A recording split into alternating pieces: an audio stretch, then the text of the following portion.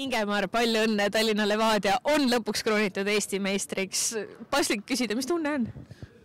meil ülejäänud väga, väga, väga meeldiv, et eh, noh, me selle nimel mängibki, et tulla meistriks ja ja kuna see aasta meil tuli vahepeal see läbi raskuste, et eh, võib-olla siin mõned isegi kaotasid kergusu, siis eh, seda enam on see meistritiitel nagu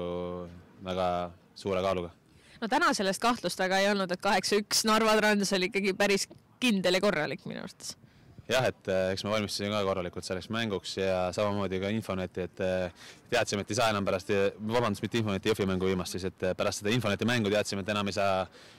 kellegi teisele lasta nagu nii-öelda oma saatust otsustada kui ainult ise ja eks me siis võtsime nagu kokku ja ja panime väljakul nagu reaalselt asjad paika, et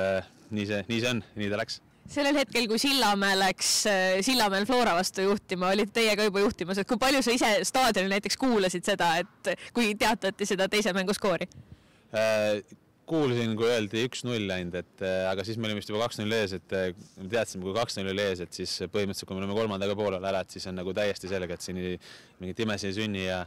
ja Aivar Poolak ei pea autoga sõitma enam, et saab karika meil siin kohe üle anda, et et nii ta läks ja teine mäng ei mänginud meie jaoks mitte mingisugust rolli, et eh, loomulikult, kui ma oleks, ma ei, nii, mingi valemiga nullikas kaotusseisus olnud, et, et siis eh, olla, hoid, hoitaks pöidalt selle teise mängule, aga,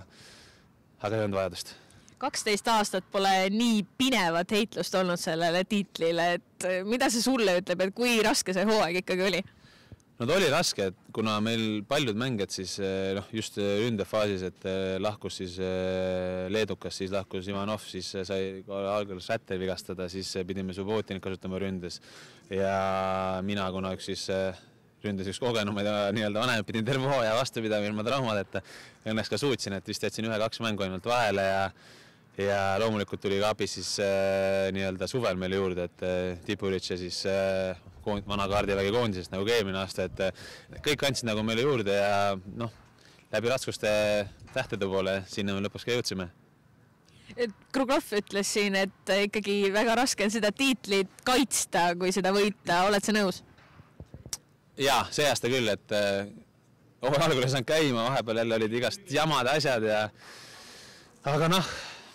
no lõpus, äh, kui me viimane voor need kolm suurt äh, võistkonda siis ära võtsime, Sillamäe, Flora, Kalju, et äh, et siis nagu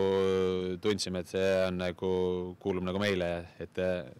ainult ise saime maha mängida, mida me siiski ei teinud, õnneks. sul on olnud üks väga huvitav hooaeg, mis loodetavasti nüüd tipneb ka ühe koondise mänguga, et see koondise kutse tuli nagu välk selgest ajast. jah, täpselt, et äh, ei osanud oodatagi seda, et, et võidakse kutsuda, aga noh väga hea meel selle üle ja loodame, et siis saan ka seal nagu noh, mitte ainult mängu, aga jalavalgeks, et eh, niisama mäng eh, on loomulikult tore, aga tahaks ikkagi nagu midagi, midagi nii-öelda või ühiskonnale juurde anda ja eks see enda ülesanne ongi, et eh, aidata siis raskel hetkel ja proovida siis koondist väravaga aidata või väravatega.